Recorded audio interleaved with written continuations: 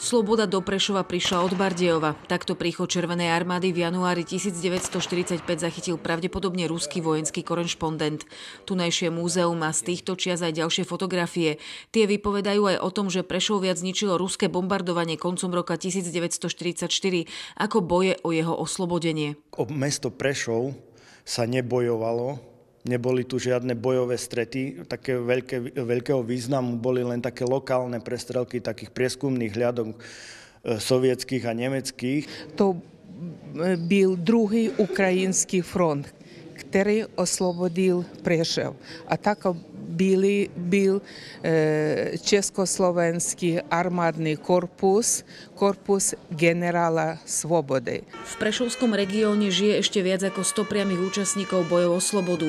Sú to partizáni, partizánky, členovia Svobodovej armády, ale aj tí, čo prežili koncentráky. Aj keď dnes majú po 90 na vojnové roky si pamätajú veľmi dobre. Ja som potom nastúpil v roku 1944 do prvého armádneho zboru na východnom Slovensku, kde sme mali veliteľa štábneho kapitála Čambalíka. Ja som bol riadný vojak Čatár, hej, ja som bol vojak Čatár a mal som na starosti 127 vojakov. Chyba bola to, keď kamarát padnul. To bola veľká chyba, toto bolo ľúto a je teraz ešte ľúto, no ale nedá sa nič robiť.